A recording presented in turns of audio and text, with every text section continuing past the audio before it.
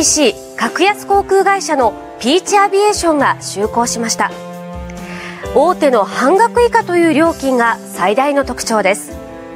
新藤キャスターがその一番機に乗り込み関空から新千歳までおよそ2時間の旅に密着。LCC の課題と魅力を探りました。関西国際空港で今日こちら関西空港に隣接する商業施設です。中にはですねホテルだったりレストランが入っているという建物なんですが今日からは違います。ピーチという文字が踊っています。ピーチに搭乗するためのチェックインそれから受付をする場所になっているんですね。もうすでにお客さんが集まり始めています。空港から離れた商業ビルの一角。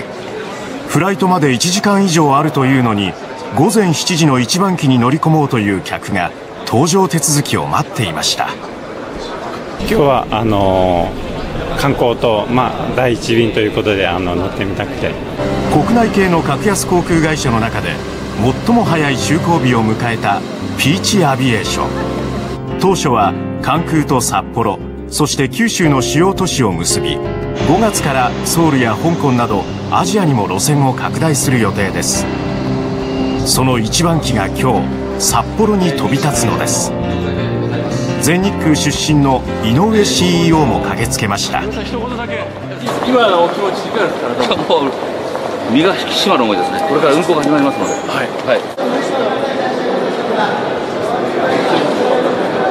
えー、こちらインターネットで予約した時にプリントアウトした紙です。こちらでまずチェックインしてみます。チェックインカウンターにはバーコードを読み取る機械が置かれているだけ。スタッフを配置しないことで人件費を抑えます選びます。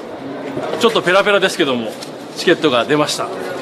面白いのはですねここに「大きに」と大阪弁で入ってます。しかしこの日はチェックインのシステムに不具合が生じ航空券を手渡しするなど混乱も起きました。全然ダメだ。最初からこれじゃ話になんねんな懸命の対応をするものの初めてで不慣れなスタッフ。地上職の方ですか？いえ CA もやあ両方やる、はい、前職は何をされてたんですか、えっと、プロ野球球団でボールがあるあそうなんですか ピーチは空港の施設利用も簡素化してコストを抑えそれを運賃に反映しています。関西新千歳間の料金は4780円から。最も高い料金でも大手の半額以下です。飛行機まで来ました乗りましょう乗客がタラップを上り航空機に搭乗します。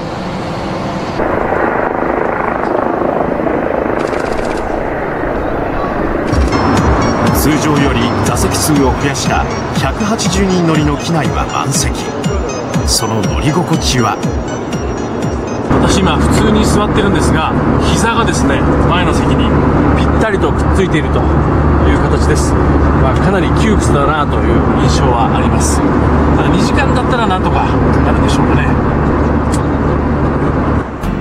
ピーチの機内サービスは全て有料です食事のメニューは30種類ほどあり現金でのやり取りも発生するため食事の提供には意外と時間がかかります。こちらがですねお弁当とお茶がついて700円です。そしてカップヌードルは350円、まあ、ちょっと割高な気もしますけども。まあ結構いいですよね。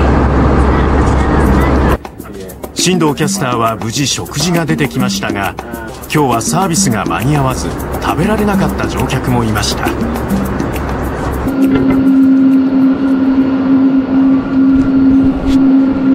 いよいよ新千歳空港に乗客たちが降り立ちました。その一人岐阜県からやってきた森田さん。楽しかったです。やっぱ初便ということであの嬉しかったですけれども今日は有給を使った気ままな日帰り一人旅です。新藤キャスターもその度に投稿しました。